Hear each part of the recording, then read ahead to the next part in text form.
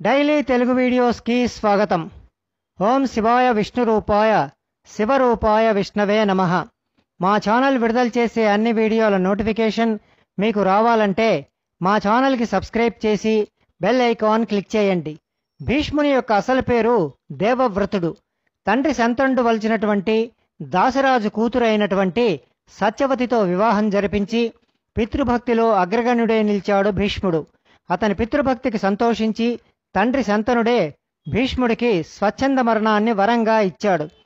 శ్రీకృష్ణుణ్ణి కొంతమంది భక్తులు అందరూ మిమ్మల్నే తలుస్తున్నారు కదా మరి మీరు ఎవరిని స్మరిస్తున్నారు? అని అడిగారు. దానికి సమాధానంగా శ్రీకృష్ణుడు నేను ప్రస్తుతం స్మరిస్తున్నది నా భక్తుడైనటువంటి భీష్మ పితామహుని అని కృష్ణ పరమాత్మ అసలు విషయాన్ని చెప్పాడు. మాఘశుక్ల ఏకాదశినే భీష్మ ఏకాదశి అంటారు. పరమ పవిత్రమైనటువంటి విష్ణు సహస్రనామం ఈనాడే ఉద్భవించింది.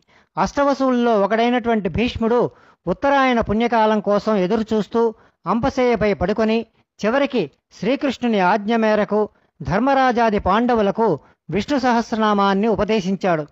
విష్ణు సహస్రనామం వేదాల సారమని ఆధ్యాత్మికవేత్తలు ప్రవచనకర్తలు విశ్లేషిస్తారు. మహాభారతానికి మూల కేంద్రాలైనటువంటి భగవద్గీత విష్ణు సహస్రనామాల్లో లేనిది లేదని అంటారు. విష్ణు సహస్రనామాలనే భీష్మ గీత అని కూడా అంటారు. లోకంలో ఎవరు దైవం ఎవరిని పూజించి స్తుతించాలి దేనివల్ల మానవులకు శుభం కలుగుతుంది? అన్ని ధర్మాలలోకి ఉత్తమమైనటువంటి ధర్మమేది? దేన్ని జపించటం వల్ల మనిషి సంసార బంధనాల నుండి విముక్తి పొందుతాడు అని ధర్మరాజు భీష్ముణ్ణి అడుగుతాడు. దానికి భీష్మ పితామహుడు జగత్ప్రభుం దేవదేవం అనంతం పురుషోత్తమం అని చెబుతూ అనాధినిధనం విష్ణుం సర్వలోకమహేశ్వరం లోకాధ్యక్షం స్తువన్నిత్యం సర్వదుఃఖాతిగో భవేత్. ఆది అంతములేని సర్వవ్యాపి అయినటువంటి దేవదేవుడైనటువంటి భగవంతుడైనటువంటి విష్ణుస్థుతి వల్లనే సర్వ దుఃఖాలు తొలగుతాయని వివరించాడు.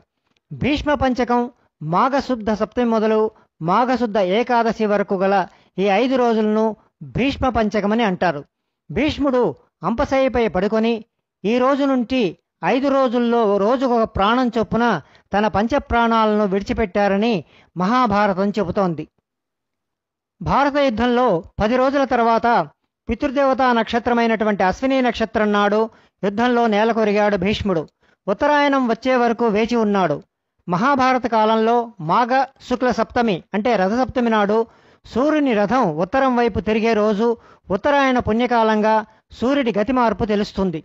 పగలు శుక్లపక్షం ఉత్తరాయణం ఈ మూడు కాంతి మార్గాలని భగవద్గీతలో శ్రీకృష్ణ భగవానుడు తెలియజేశారు. అటువంటి అమృత ఘడియలు వచ్చే వరకు అంపశయ్యపై పడుకొని తరువాతి రోజు అంటే అష్టమి రోజున భీష్ముడు అంపశయ్య మీద ప్రాణత్యాగం చేశాడు. మాఘ శుక్ల సప్తమి నుంచి ఏకాదశి వరకు ఉన్నటువంటి ఐదు రోజులు భీష్మ పంచకంగా భావిస్తారు.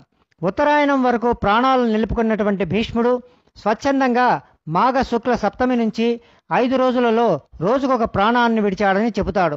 కార్తీక అమావాస్య నాడు భారత యుద్ధం ప్రారంభమైందని అంపశయ్యపై భీష్ముడు యాభై ఎనిమిది రోజులు ఉన్నట్లు భారతంలో స్పష్టంగా పేర్కొని ఉంది. మాఘశుక్ల అష్టమిని భీష్మ నిర్యాణ దినంగా పద్మపురాణం పేర్కొంది.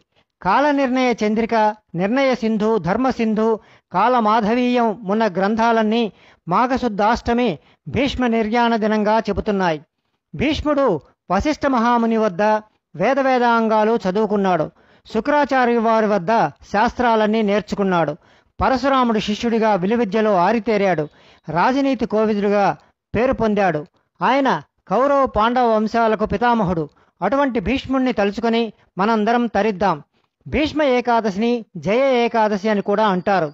ఈరోజు మొదలుపెట్టిన ఏ కార్యమైనా విజయవంతం అవుతుందని నమ్మకం. అందుకే ఈ రోజున ఈ ఒక్క పని చేస్తే పాపాలన్నీ పటాపంచలైపోతాయి. అదేమిటంటే భీష్ముణ్ణి తలుచుకొని ఈ రోజున ఆయనకు తర్పణాలు విడవాలి. చాలామందికి సందేహం రావచ్చు. ఆయన మన బంధువు కాదు కదా మరి తర్పణాలు విడవచ్చా? ఈ విషయంలో ఏ సందేహం ఉండనక్కర్లేదు. ఆయన కురువంశ పితామహుడే కాకుండా మనందరికీ కూడా పూర్వుడు. అందులోనూ సాక్షాత్తు శ్రీకృష్ణునికి అత్యంత ఇష్టమైనటువంటి వాడు. కాబట్టి భీష్ముణ్ణి తమ పూర్వజునిగా భావిస్తూ ఎవరైతే ఆయనకు తర్పణం విడుస్తారో వారి పాపాలన్నీ దహించుకుపోతాయి. ఈ భీష్మ ఏకాదశి పర్వదినాన్ని పురస్కరించుకొని విష్ణు సహస్రనామం పారాయణం చేయండి. అవకాశం లేకపోతే శ్రీరామ రామేతి అనే శ్లోకాన్ని మూడుసార్లు భక్తిగా జపించండి. మీకు ఈ వీడియో నచ్చినట్లయితే మరిన్ని వీడియోలకై మా ఛానల్ డైలీ తెలుగు వీడియోస్కి సబ్స్క్రైబ్ చేసి బెల్ ఐకాన్ క్లిక్ చేయండి. దీనివల్ల మేము విడుదల చేసే అన్ని వీడియోల నోటిఫికేషన్ మీకు వస్తుంది. మేము ఈ మధ్యనే విడుదల చేసిన దత్తాష్టకం వీడియోను కూడా చూడండి. మరొక వీడియోలో మరికొన్ని ఆధ్యాత్మికమైనటువంటి విషయాల గురించి తెలుసుకుందాం. Thanks for watching